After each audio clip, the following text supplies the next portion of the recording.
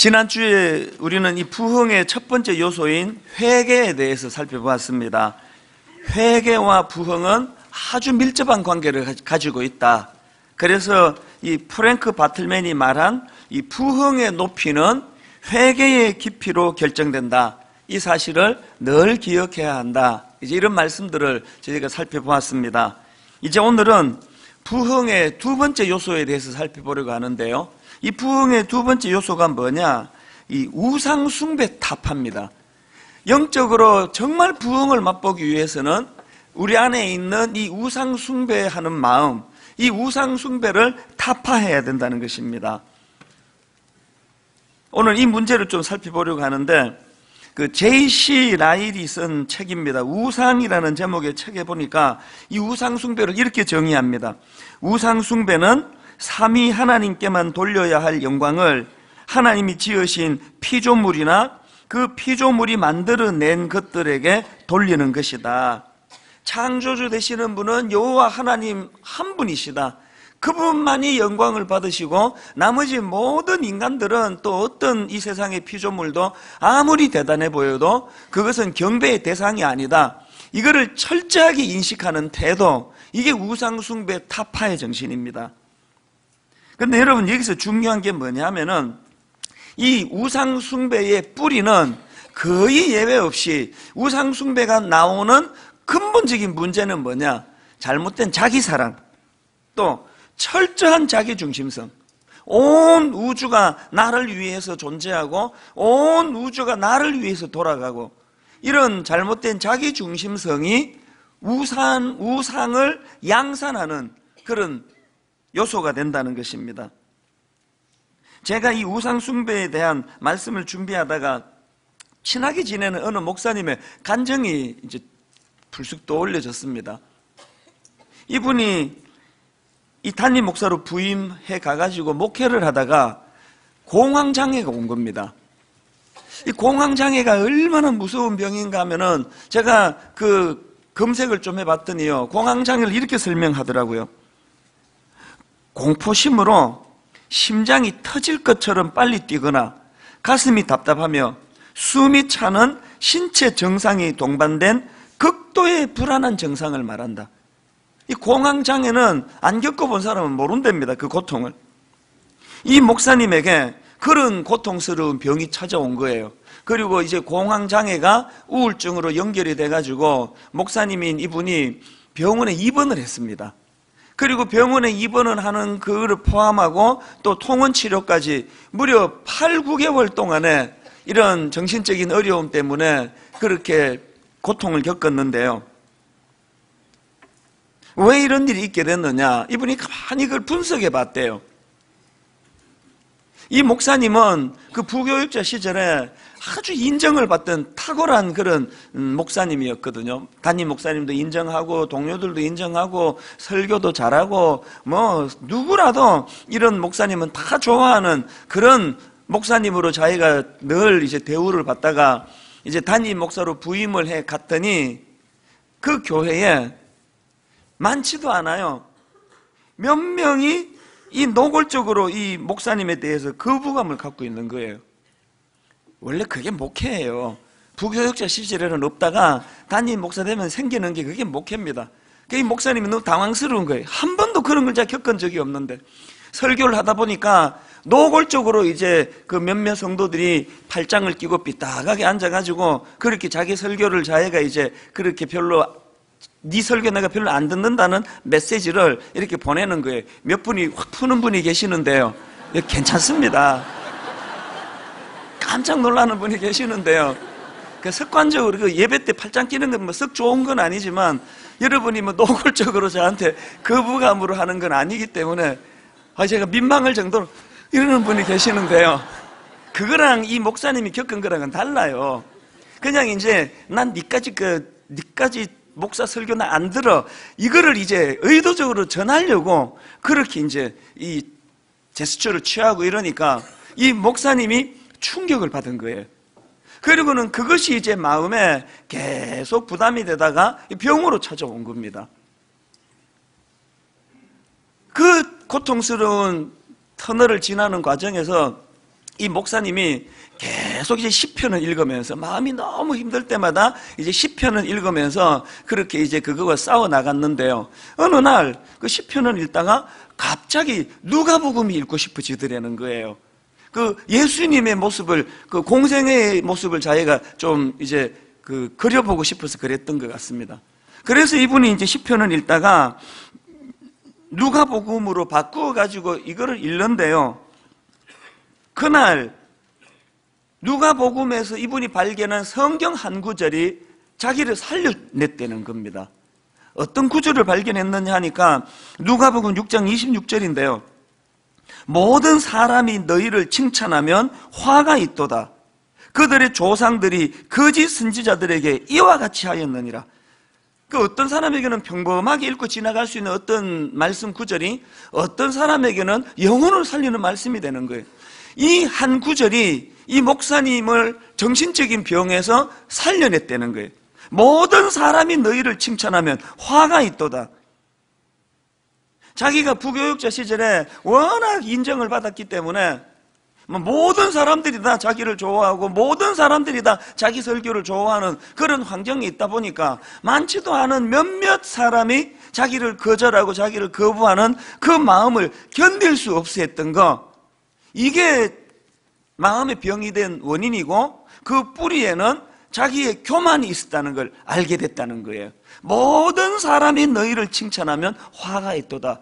그래가지고 지금은 이 목사님이 너무너무 건강하게 지금 목회를 정말 잘하는 그런 목사님으로 지금 섬기고 있거든요.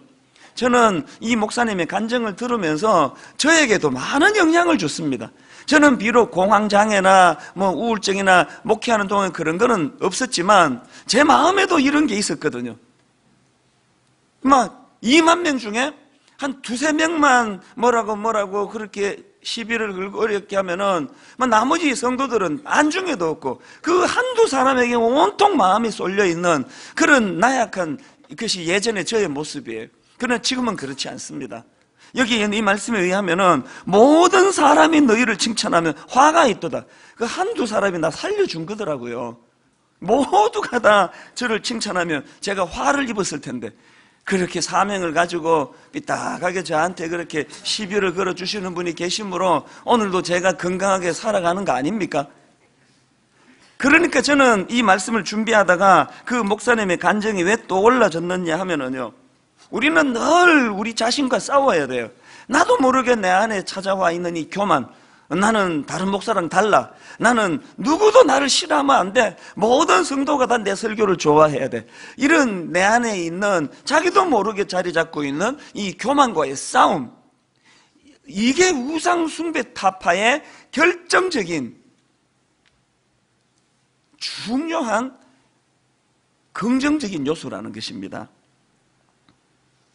하나님 싫어하시는 우상 숭배는 이렇게 잘못된 자기 사랑, 그리고 철저한 자기 중심성 여기로부터 기인한다는 것 여러분 출애굽기 32장에 보면은 이스라엘 백성들이 금송아지 우상을 만들다가 하나님께 막 엄청나게 징계를 받는 그런 내용이 나오는데요. 그런데 보니까 출애굽기 32장 1절에서 이스라엘 백성들이 왜 금송아지 우상을 만들었는지 이유를 설명하는 대목이 나옵니다. 자, 출애굽기 32장 1절을 보십시오. 백성이 모세가 산에서 내려오미 더딤을 보고 모여 백성이 아론에게 이르러 말하되 일어나라 우리를 위하여 우리를 인도할 신을 만들라 그왜 만들었다고요?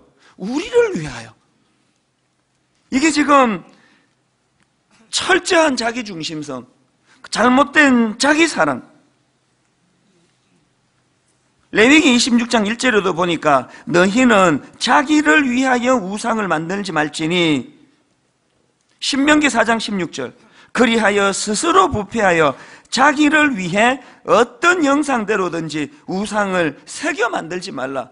모든 우상을 만들고 숭배하는 그것들의 공통점이 자기를 위하여 자기를 오늘 본문 출애굽기 20장 3절 4절도 마찬가지입니다. 하나님이 지금 10계명을 주시는 과정인데요. 3절을 보십시오. 너는 나 외에는 다른 신들을 내게 두지 말라. 1계명 아닙니까? 그 다음 2계명을 보십시오. 너를 위하여 새긴 우상을 만들지 말고 여기에 하나님이 유독 표현하는 게 뭡니까? 우상을 만드는 근본적인 원인, 이유가 있다면 잘못된 자기 사랑이에요. 너를 위하여, 너를 위하여. 저는 목회자로서 이게 얼마나 위험하다는 걸 알아요. 제가 하나님의 영광을 위해서도 열심히 목회하고 설교 준비도 하지만 그 안에 같이 끼어 들어오는 불순물이 있는 걸 알아요. 나를 위하여 목회하는 거. 인정받고 싶고, 설교 잘한다는 칭찬 듣고 싶고, 교회를 키우고 싶고, 항상 우리의 내면 세계에는 이 불순물이 함께 동반한다는 것을 인식하는 삶, 이것이 우상 타파의 굉장히 중요한 열쇠라는 겁니다. 골로새 3장 5절도 마찬가지입니다. 그러므로 땅에 있는 지체를 죽이라 곧 음란과 부정과 사욕과 악한 정욕과 탐심이니 탐심은 우상 숭배니라.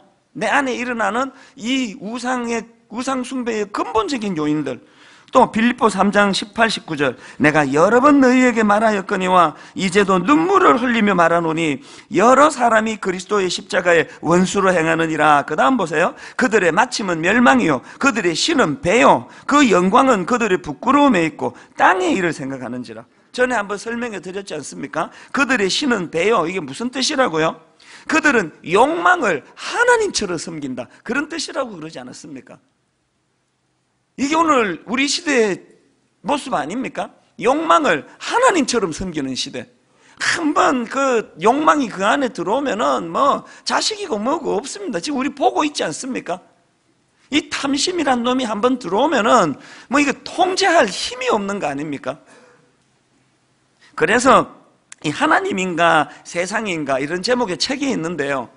이 책에 보면은 이 존 칼빈의 말을 이렇게 인용합니다. 인간의 마음은 우상을 만들어내는 우상 공장이다.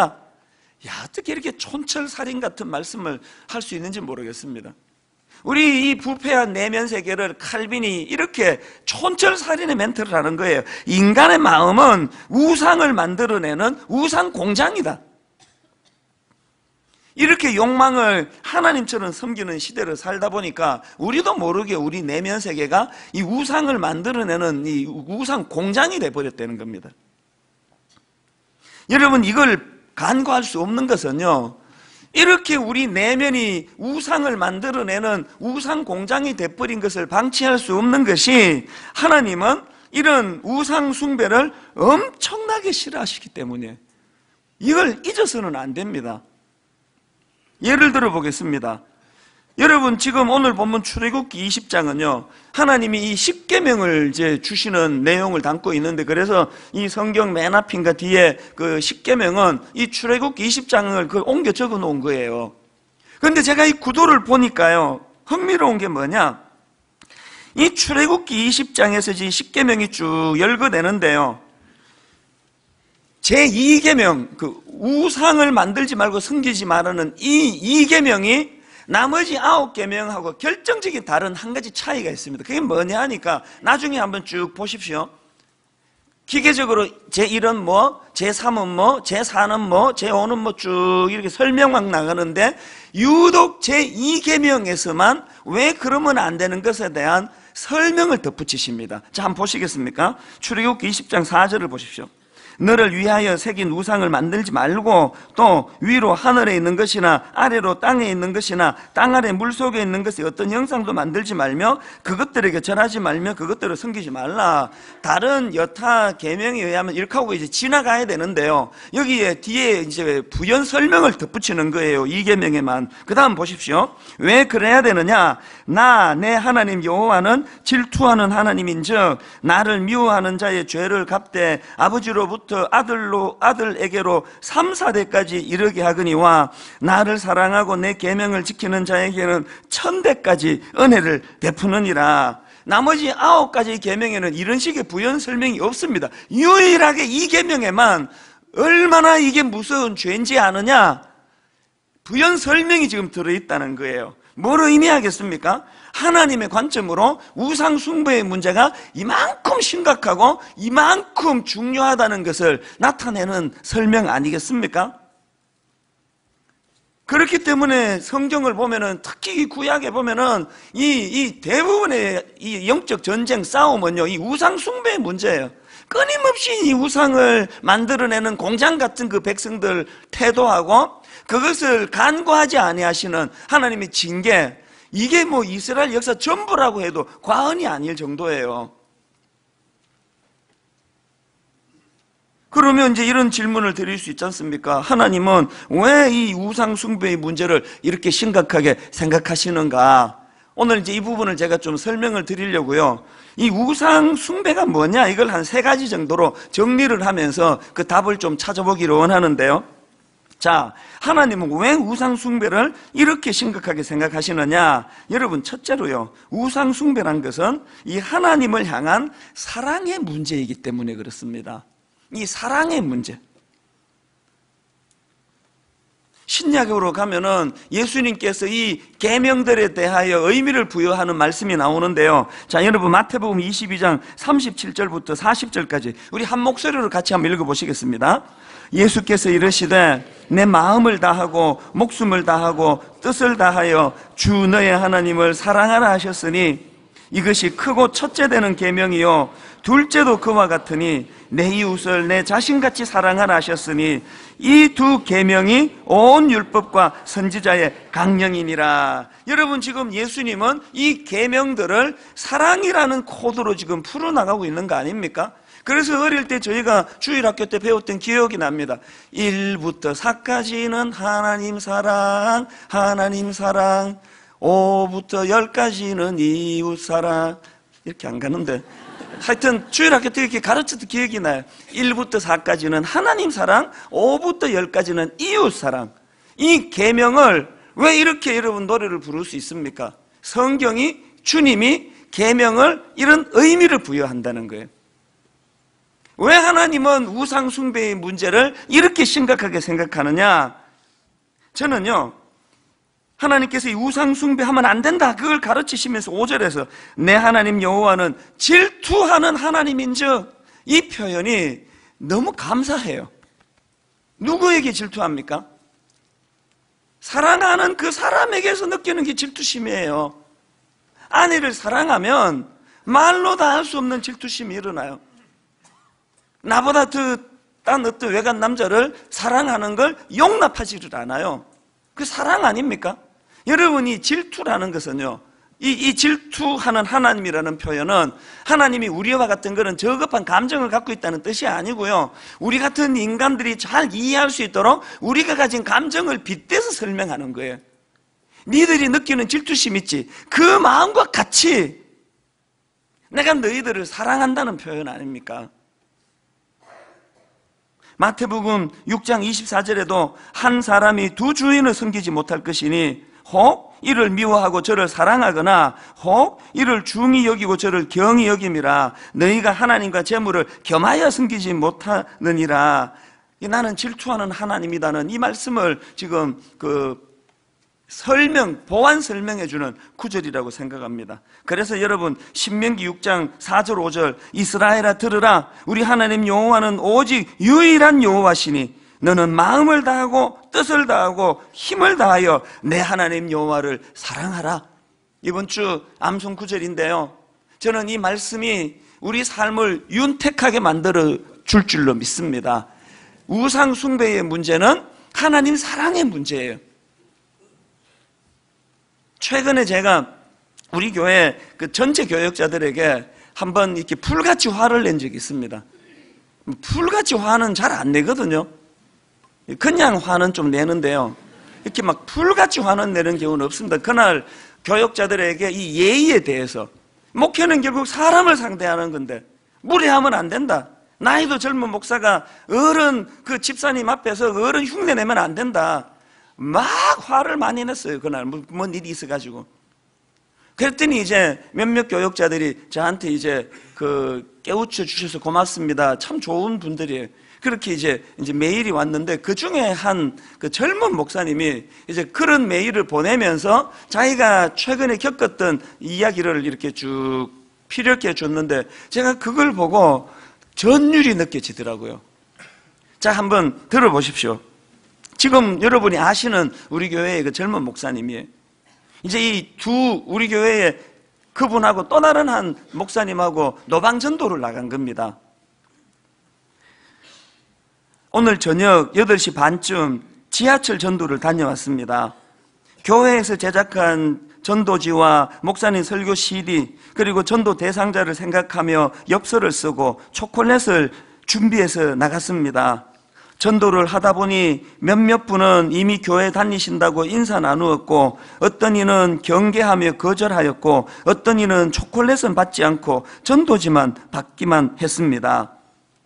술이 조금 취하신 40대 초반쯤 되어 보이는 아저씨에게 인사를 건넸습니다. 안녕하세요. 저는 분당 우리 교회에서 섬기는 목사입니다. 저의 인사에 아주 짜증 섞이고 지저분한 벌레를 보는 듯한 표정으로 한마디를 던졌습니다. 사기꾼. 조금, 아니, 많이 당황했습니다.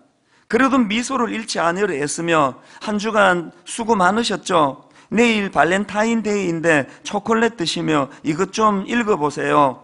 초콜릿과 전도지를 건넸습니다.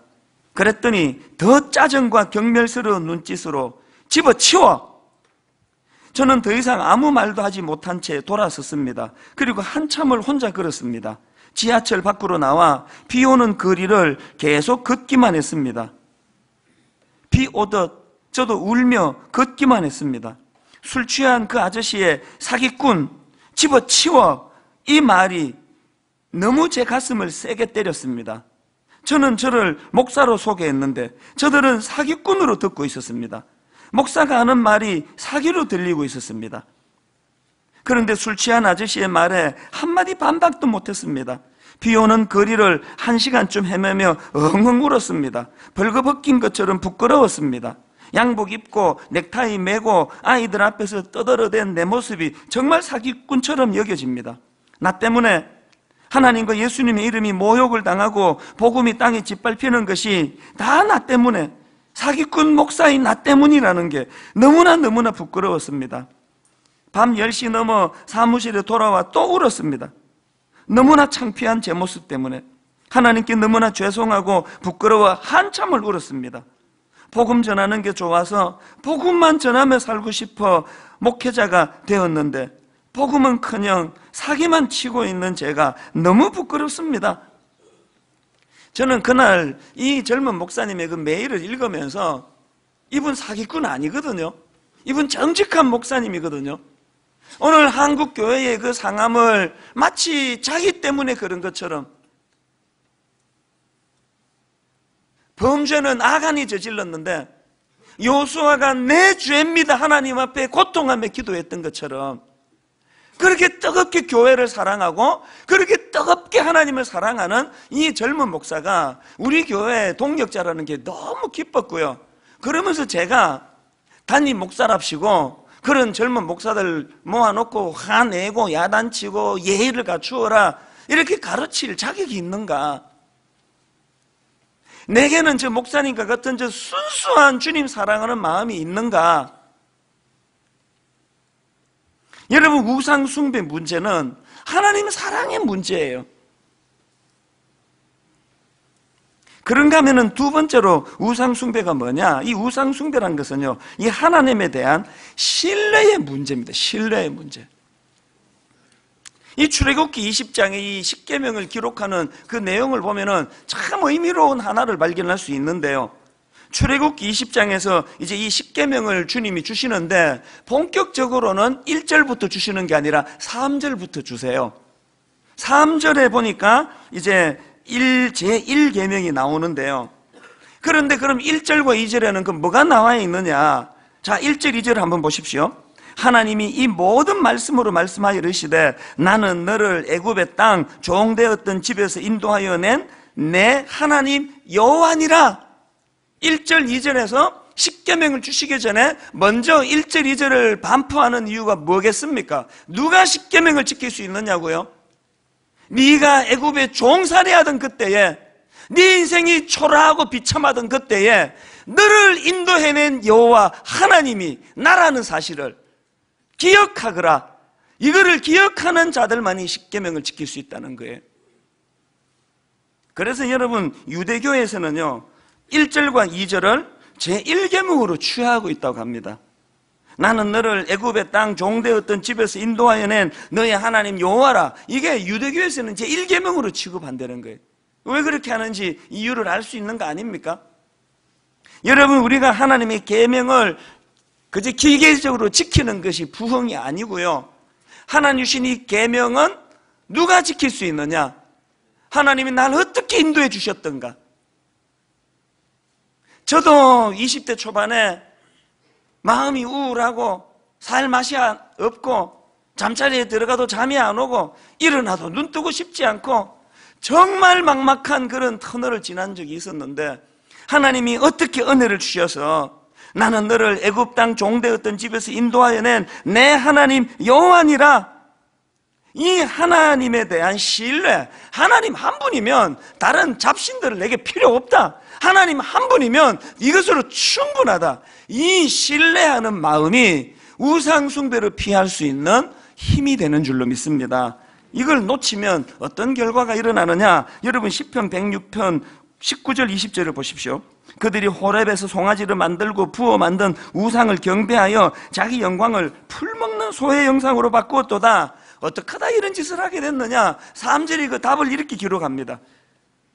아 21절이. 그 다음 그 다음 21절이 애굽에서 큰 일을 행하신 그의 구원자 하나님을 그들이 잊었나니 여러분 왜 1절 2절에 전제를 하나님이 주셨다고요? 하나님이 나를 어떻게 인도해 주신 내 하나님 되시는가를 잊어버리면 이런 어리석음을 범하게 되는 거예요. 그래서 우리가 우상을 타파하기 위해서는 내 마음에 하나님 한 분만으로 나는 만족합니다. 제가 이 설교를 준비하다가 개척 초기에 있었던 이 그때 설교 시간에 한번 내가 인용을 했는데요. 그때는 뭐 이렇게 많이 모일 때도 아니에요. 막 제가 좀 이름이 알려지고 책도 쓰고 그럴 때가 아니에요. 겉으로 보기에는 그저 뭐 조촐한 이런 교회를 하나님이 허락해 주실 때인데요. 제 마음에는 지금보다 훨씬 큰 기쁨이 있었고 노래가 있었던 것 같아요. 그때도 제 기억으로 좀 추웠는데 아마 좀 요간 같아요. 2월 뭐 그런 정도였던 것 같습니다. 누구랑 이제 약속을 하고요. 그분이 차를 갖고 오기로 해가지고 제가 여기 송림 고등학교 정문 앞에 그 도로에서 기다리고 있는데 안 오시는 거예요.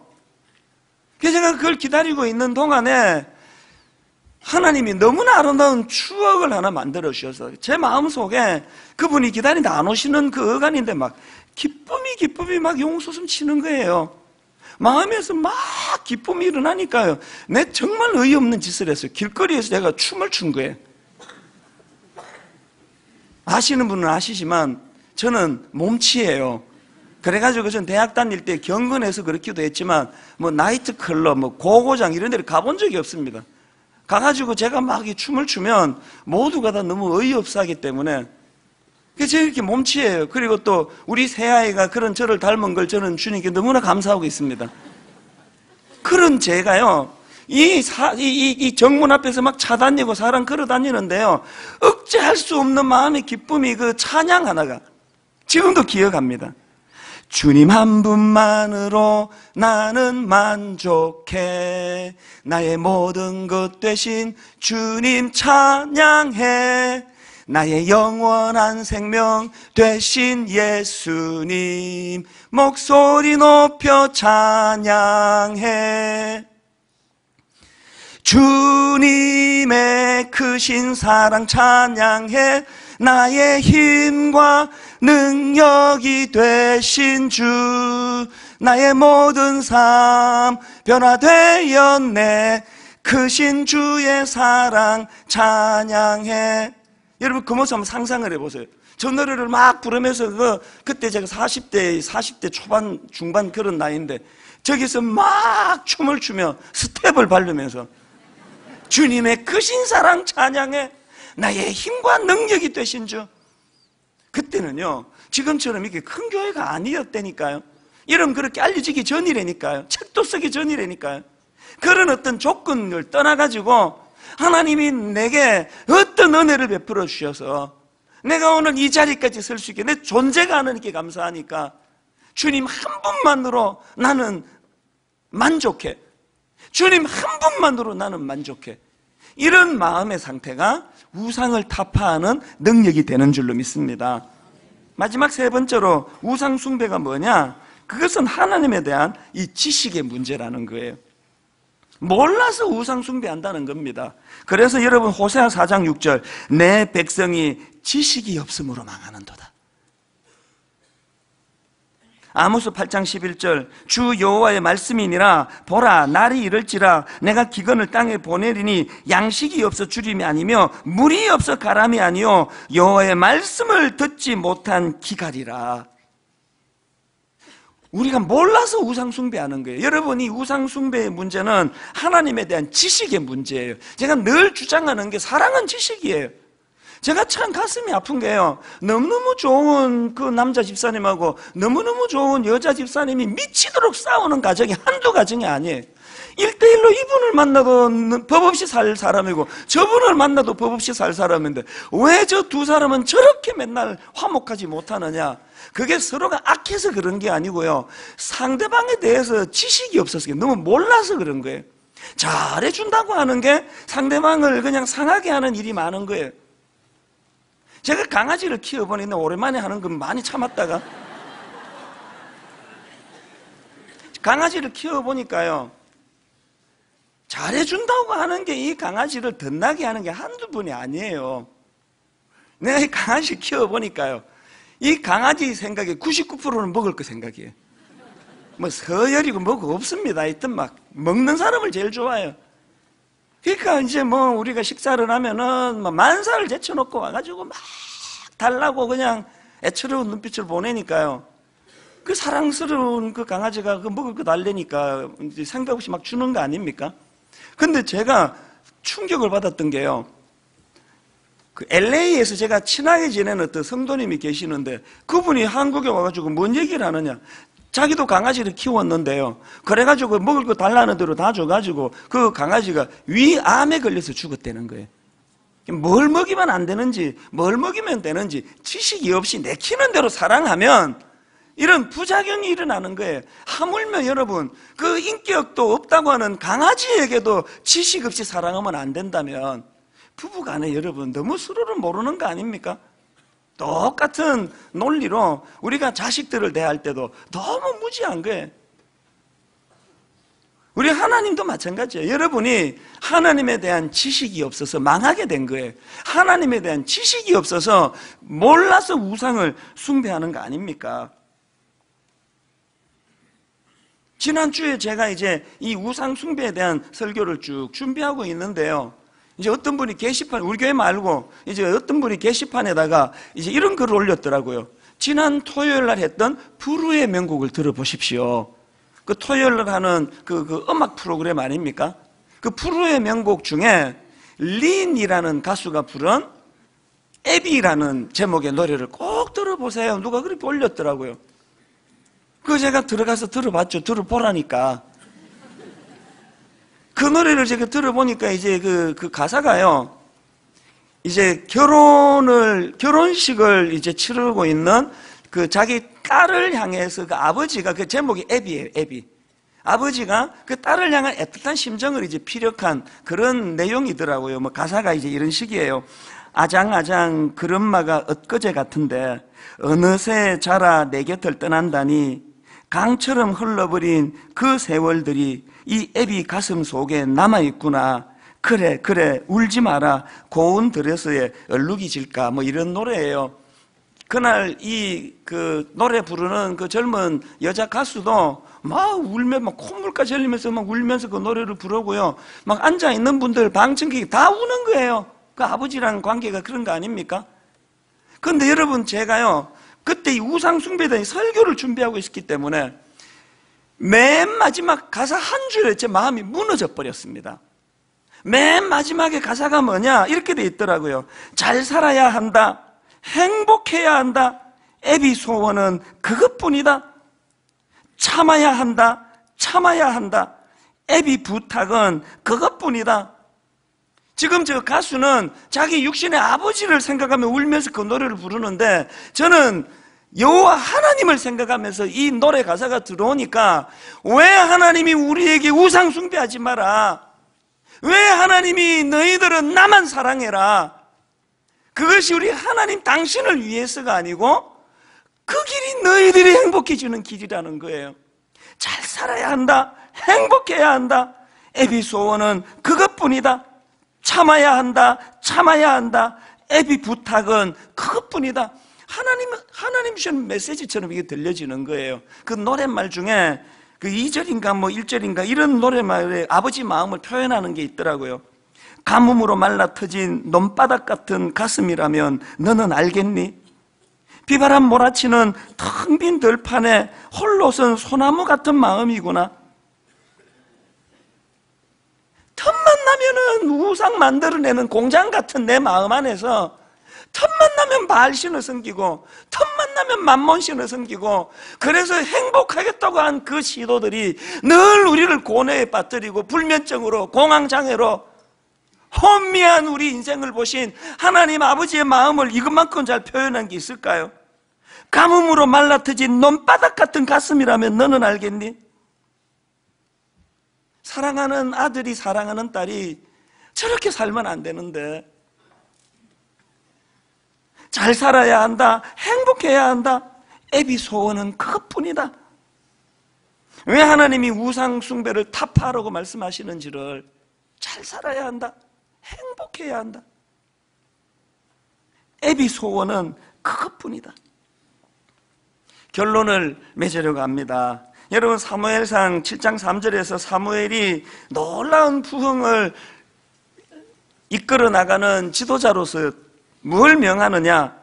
사무엘상 7장 3절입니다. 사무엘이 이스라엘 온 족속에게 말하여 이르되 만일 너희가 전심으로 여호와께 돌아오려거든 이방 신들과 아스다롯을 너희 중에서 제거하고 그 다음에 너희 마음을 여호와께로 향하여 그만을 섬기라. 그리하면 너희를 블레셋 사람의 손에서 건져내시리라. 여러분 눈에 보이는 이방신 아스다롯만 제거하는 게 부흥이 아니에요. 그것뿐만이 아니고 이 우상을 만들어내는 공장 같은 마음을 하나님께로 향하여 그만을 섬기라. 이것이 잘 살아야 한다. 행복해야 한다. 에베소원은 그것뿐이다. 그 하나님 아버지의 마음을 대변하는 거 아니겠습니까? 오늘 이 말씀을 우리가 기억하시면서 33번 찬양이에요. 아버지, 당신의 마음이 있는 곳에 나의 마음이 있기를 원해요. 우상 타파에 이것만큼 중요한 게 없지 않습니까? 아버지, 당신의 눈물이 고인 곳에 나의 눈물이 고이길 원해요. 우리 가사를 생각하시면서 하나님, 우상 공장 같은 내 내면 어쩌다 이렇게 되었느냐? 탐심 때문이래요. 소탐 대신 하나님 우상 타파하여 내 심령에 내 가정에 내 교회에 부흥을 맛보게 하여 주시옵소서. 소원하면 이렇게 찬양하기 원합니다. 아버지 당신의 마음이 있는 곳에 아버지 당신의 마음이 있는 곳에 나의 마음이 있기를 원해요. 나의 마음이 있기를 원해요 아버지 당신의 눈물이 고인 곳에 아버지 당신의 눈물이 고인 곳에 나의 눈 물이 고이길 원해요. 아버지 당신이 바라보는 영혼에게 바라보는 영혼에게 나의 두 눈이 향하길 원해요. 향하길 원해요. 아버지 당신이 울고 있는 어두운 땅에 당신이 울고 있는 어두운 나의 두 발이 향하길 원해요. 사랑은 지식입니다. 나의 마음이 아버지의 마음 알아. 내 모든 뜻 아버지의 뜻이 될 수 있기를 나의 온 몸이 아버지의 마음 알아. 내 모든 삶 당신의 삶 되기를 여러분 다시 한번 이 찬양 부르기 전에 우리 한 번 더 좀 자기를 돌아보면 좋겠습니다. 여러분 행복하세요? 여러분 하루하루의 삶이 정말 행복하세요? 자신 있게 그렇습니다 대답할 수 없다면 원인이 뭔지를 살펴봐야 되는 거 아닙니까? 하나님은 오늘도 그 노래말 가사처럼 잘 살아야 한다. 행복해야 한다. 애비 소원은 그것뿐이다. 비록 이 노랫말은 육신의 아버지의 마음을 기록한 것이지만 이 하나님 아버지의 마음 아니겠습니까? 하나님 한 분만을 섬기기를, 섬기기를 원하시는 아버지의 마음이 여기에 녹아 있다면 하나님 우상 제조 공장과 같은 이 혼미한 시대에 하나님 부흥을 맛보기 위하여 정말 회개의 자리로 나아가는데 하나님 하나님 한 분만으로 만족하며 하나님 한 분만으로 섬기며 사랑하는 이 믿음을 회복시켜 주시기 원합니다. 우리 가사를 생각하시면서 한 번 더 이렇게 노래하기 원합니다. 아버지, 당신의 마음이 있는 곳에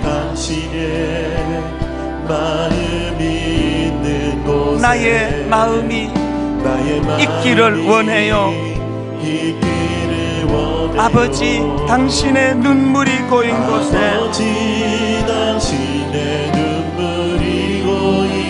나의 눈물이 고이길 원해요. 아버지, 당신이 바라보는 영혼에게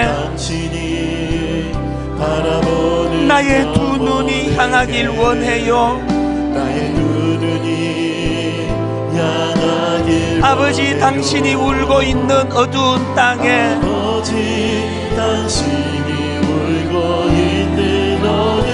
나의 두 발이 향하길 원해요. 나의 마음이 아버지의 마음 알아. 내 모든 뜻 아버지의 뜻이 될 수 있기를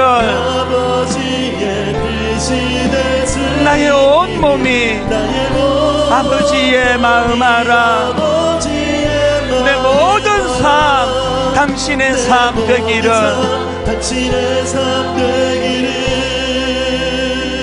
여러분 이 시간 하나님 앞에 기도할 때 아버지 잘 살아야 한다. 행복해야 한다. 애비 소원은 그것뿐이다 이 하나님의 마음을 내가 깨달아 알고 회복하기를 원합니다. 그래서 하나님 우상 제조 공장 같은 내 마음이 정리가 되고 청산이 되고 오직 여호와 하나님을 신뢰하고 그분만을 사랑할 수 있기를 원합니다. 그럴 수 있도록 힘 주시기를 원합니다. 우리 통성으로 같이 기도하기 원합니다. 같이 기도하시겠습니다. 살아계신 하나님 아버지 하나님을 의지하고 신뢰하며 하나님만 바라보며 주님 그렇게 달려가기를 원하는데 하나님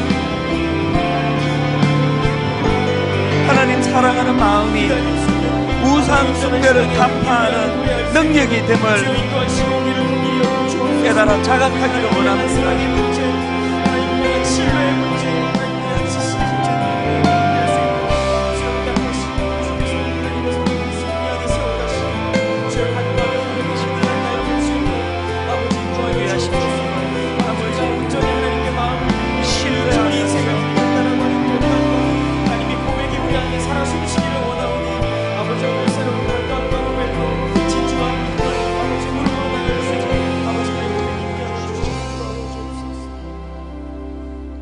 하나님 아버지, 우리 하나님은 십자가 예수 그리스도를 통하여 우리를 변화시켜 주시고 잘 살아야 한다, 행복해야 한다.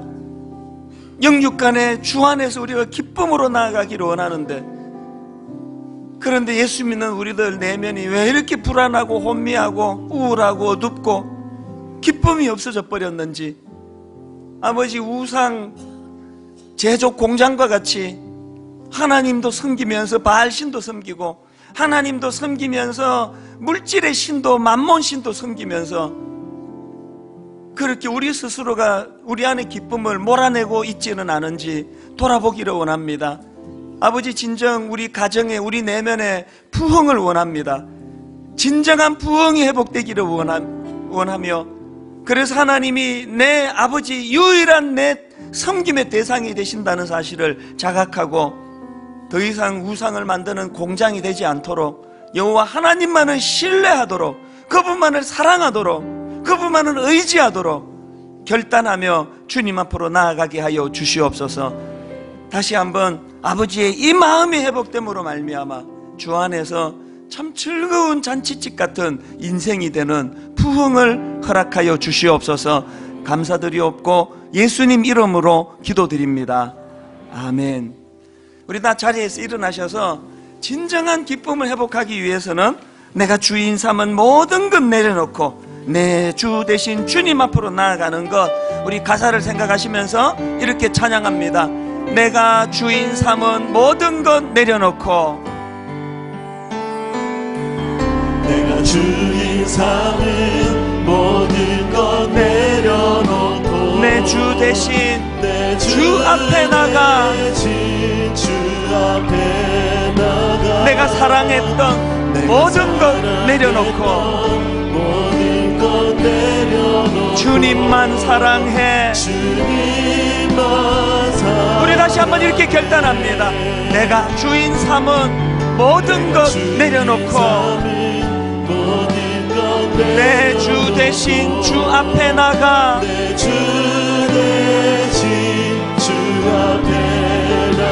내가 사랑했던 모든 것 내려놓고 주님만 사랑해. 주 사랑. 거친 풍랑에도 깊은 바다처럼 나를 잠잠케 해. 주 사랑. 주 사랑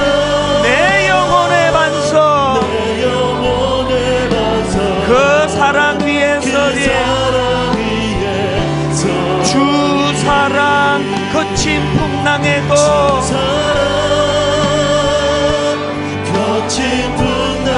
깊은 바다처럼 나를 잠잠케 해. 주 사랑 내 영혼의 영혼 그 사랑 위에 서리. 그그 사랑 위에 서리